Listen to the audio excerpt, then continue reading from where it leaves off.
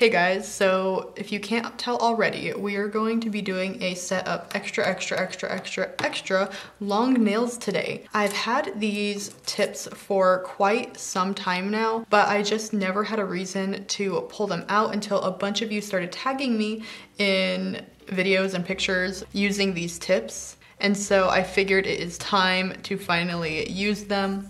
Today I will be using these tips and I'll be using acrylic on them today because I will basically put them on my nails and then we'll try to see how long I can live with them. Then when I'm done with this length and I want to go down to something more reasonable like that, I can just file them down and I still have a nail that I can wear for a certain amount of time. So let's get into it. So we're going to start off by just lightly etching my actual nail to get any shiny off of the surface. You don't want any oil or anything like that or the nails are not going to last. And the tips, I can already tell I'm gonna have a small issue with them just because they're so thick. So I really need them to be able to stick to my nail. I'm just doing this very lightly and mainly around the cuticle area. Then I'm gonna take this E-Nail Couture pre-prime and I'm gonna put that all over my nails. And this is essentially a dehydrator. And then now it is time to put the tips on. So with these tips, I am just going to cut a little bit off of the part where you attach your nail, just because I don't want them to be like full cover tips.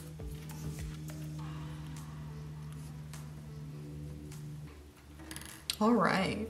Then I'm just going to use some of this Makartt glue and put them on.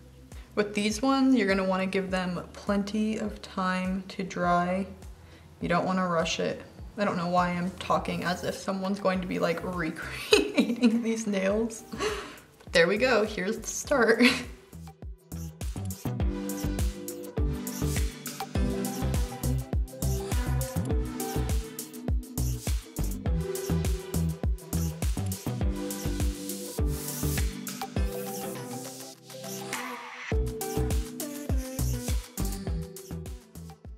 Okay, here we go. They're on. I wonder how long I could last with these. I don't know.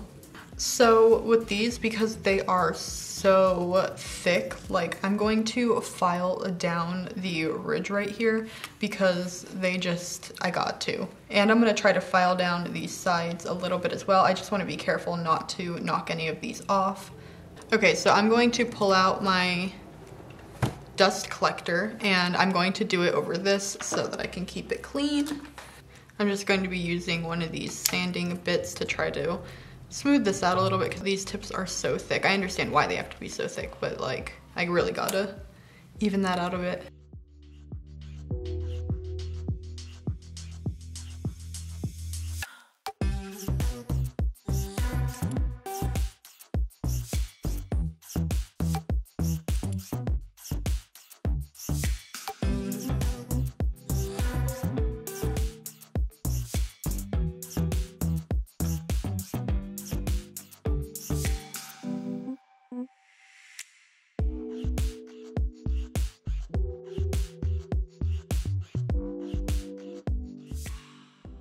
Okay, so I filed all of those down. I really just did the sides a little bit because I'm not gonna just do too much. I feel like they're a little too fragile on my nail right now to just be like eh, back and forth with the file. So I'll file them after I put the acrylic on.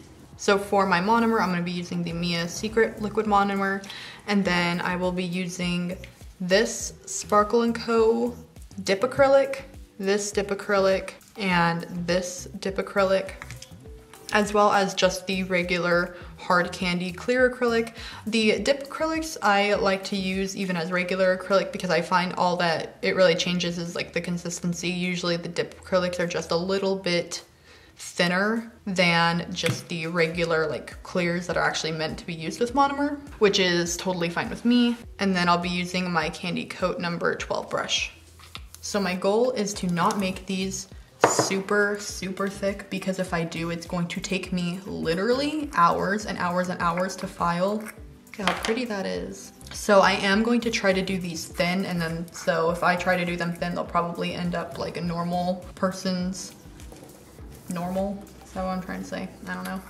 Wow, these are so pretty. I am going to just put on my Apres primer really quick before I do anything else. Just on my natural nail. And here we go. So I'm gonna start off with like a, just one like clear bead of acrylic.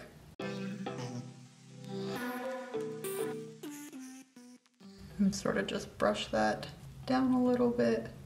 Okay, so I've pretty much meshed my like real nail and the tip. So now I'm gonna grab just a tiny bit more of this clear and I'm just going to just do a really thin layer over this entire thing. I don't even have like a proper term for it.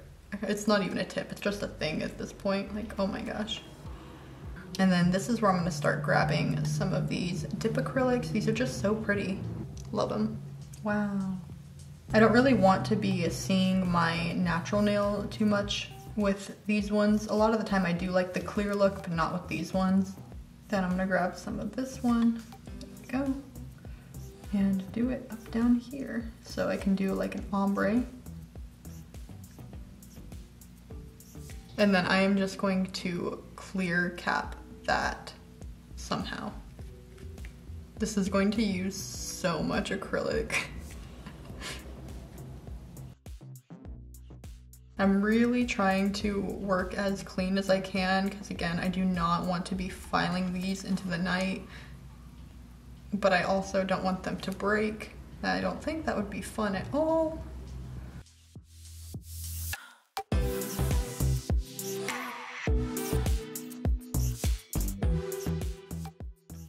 Here's how it looks from the side right now. I think I also might let some of these dry a little bit before I go back and like add more just so we can see. Okay, here we go. Here's the snail for now anyway. I know it's, is it too thin? It's probably way too thin. I just don't want to add it too much to it, if you know what I mean. Let's work on this snail. I keep wanting to like put these down, but it just makes it like so inconvenient. I don't even know how to do this. Okay, like this. I'll try anyway. Again, I'm just gonna put down a nice little clear bead to start with. And I'm gonna really try to like focus my nail downward because I had it flowing in my cuticle a little bit and I just want to let gravity do its thing on this right now. So something one of you told me and it's always stuck with me is that your brush gets all clumpy because you're wiping it in the same spot. So make sure to always be changing where you're wiping your brush and that's always worked for me now. Like I feel like I don't have that many issues with it anymore. So let's put some of this blue on here. This blue is so pretty. Like, look at that, so pretty. I know most of this is like just glitter, but there's a little bit of acrylic in here. This color is so pretty though. Oh my gosh. I feel like, why do dip acrylics have the prettiest colors? I always feel like I'm using dip acrylic and not actual acrylic. I just feel like I always have better colors in dip. Look at how pretty this is. And then I'm just going to put a clear coat over this. Somehow trying to do it like this doing the nails like this is so hard at this angle, but I want you guys to be able to see. Here's the side on this one. I'm building up this one a little bit better.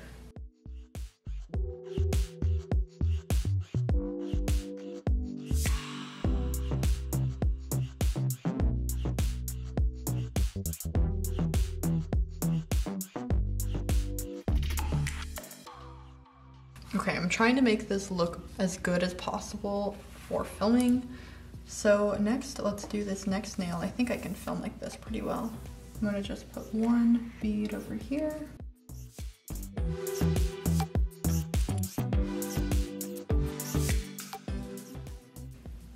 Sorry this video is not going to be as talkative as normal. I have a lot more concentration than normal. I usually I don't anticipate on like struggling on a set of nails. And I have not done acrylic in a long time. I've just been focusing on like polygel mainly. So I feel like my acrylic skills are really rusty. I got good at acrylic for like a good minute and then I started mainly doing polygel. And then I also have a bunch of these little decals here that I think I'm gonna use a couple of. I mainly wanna use these little stars over here in this bottom corner.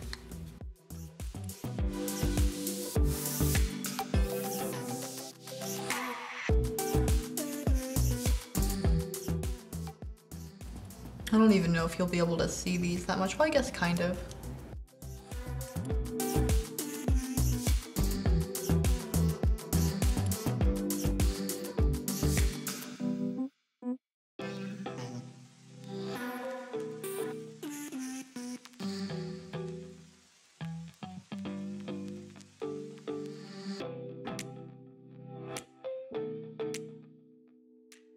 Think I want to use this blue again. I just think this blue is like the prettiest color I've ever seen. Like, don't you agree?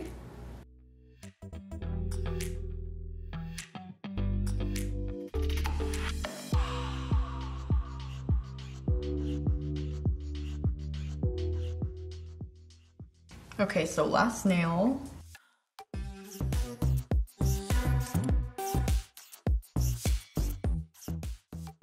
Then I think of this nail, I'm gonna mainly do this color just because I didn't really do this color and it is so pretty.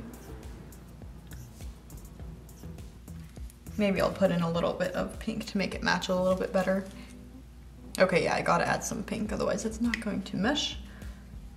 It'll be like the thumb.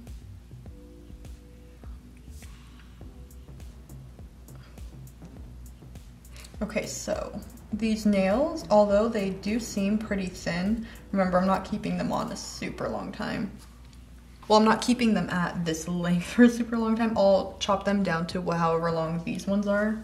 So the ends being a little bit thinner, okay?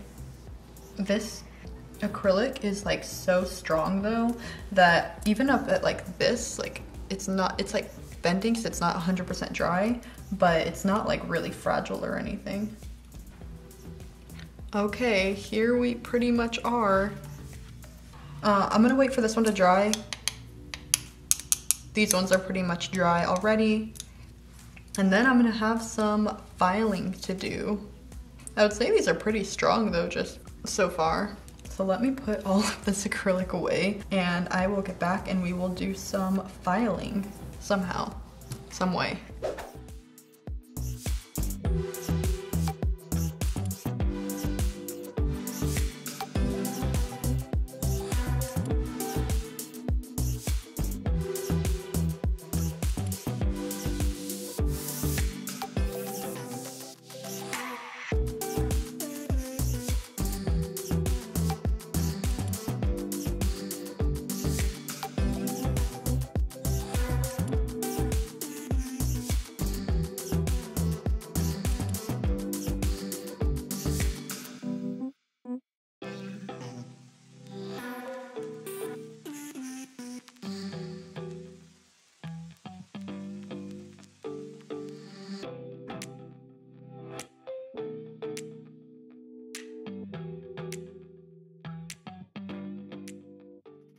Okay, I have come back from filing and here they are. Now I'm gonna put on a top coat and hopefully cure them. These things are like as long as my light, so hopefully I don't have too much of a problem. Okay, I'm gonna just use the Apres gel top coat. I'm gonna have to use so much gel top coat, oh my gosh. I did file down a little too much on some of the cuticles and some of the glitter got taken away, but it's okay. Okay, now to cure. All right, I'm excited to see how this blue looks. Ooh, so pretty. Again, this is one of the places where I filed down the cuticle a little too much. Not too much, I mean like it, the structure is kind of right, but it's just, I should have put a little bit thinner of a clear coat on the bottom and more glitter, essentially. I must have had some like dirty monomer right there because that one got all cloudy right there. Do you see what I mean? Oh well.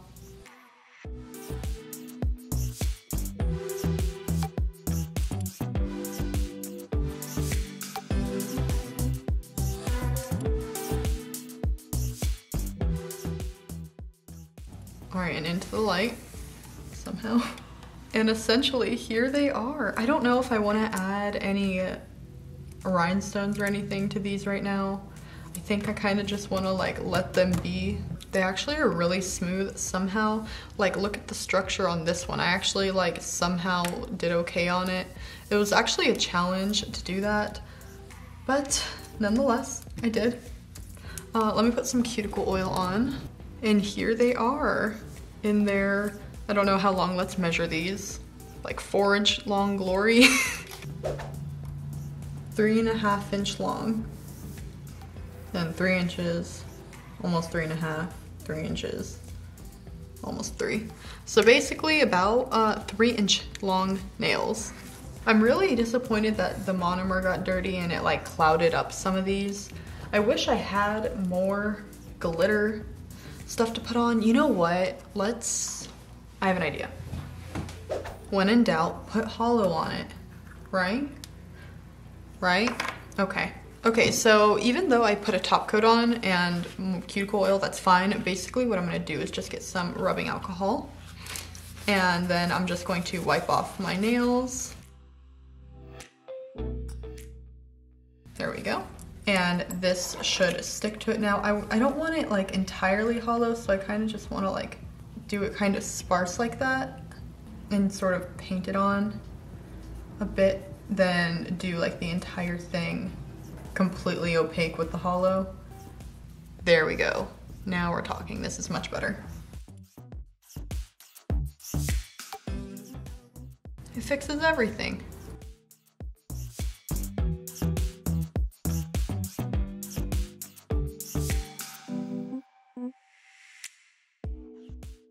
And then see, this will fix the problem on this one and it'll make each one look even better.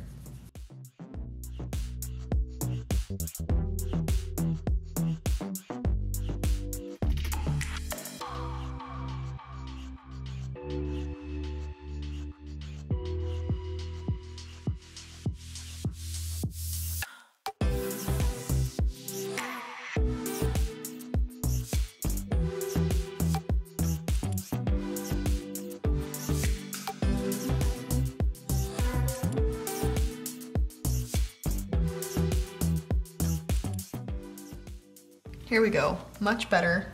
I feel a lot better with these now. I kind of felt like they were a little disappointing, but now I don't feel like they're disappointing. Like all of that for like some cloudy acrylic nails. Okay, this is better. Okay, so now I'm gonna use a different top coat because this one I have designated for like holo and different powders and stuff like that so that I don't get like a bunch of powder and stuff in my other top coats. Okay, so I'm actually like slowly getting used to this length. I would worry about like breaking a nail and then like damaging my actual nail having them this long, like long term, but like it's not that bad so far. I mean, I haven't really done anything. Might be speaking too soon, but just saying.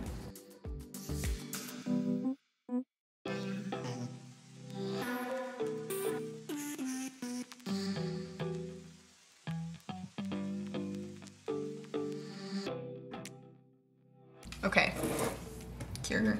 Okay, now that is more like it. Let me go wash off all of this holo that's now literally everywhere. So here are the final nails. I know they are totally ridiculous, but I actually love them. I actually think they turned out really good. The structure is not the worst thing in the world. Could it be better? Yes. You know, it's fine. If I chop them to match the length, they're gonna be like a definite square I know my cuticles are a little not happy right now. It's kind of hard to file these because you kind of have to hold it on the side while you file it. So I ended up just like getting myself a couple times on the side walls. But here they are. I don't know how long I'm gonna keep these on like this. I don't know. I really like them. But I hope everyone that tagged me in these tips is happy with this video. Most of the time, no one asks for videos like this, but this time you guys did ask for this, so Thank you guys so much for watching. Please give this video a like if you thought it was fun or entertaining, or you know, if you hate these, give it a dislike. If I film anything more with these nails, I'll just leave it after this. But thank you guys so much for watching and I will hopefully see you next time. Bye. Ooh, I like those a lot. These are fun. These are very long. You did a good job. Thank you. How Good. you- I'm surprised how good you did with how long they are. It's really good. Good job. you.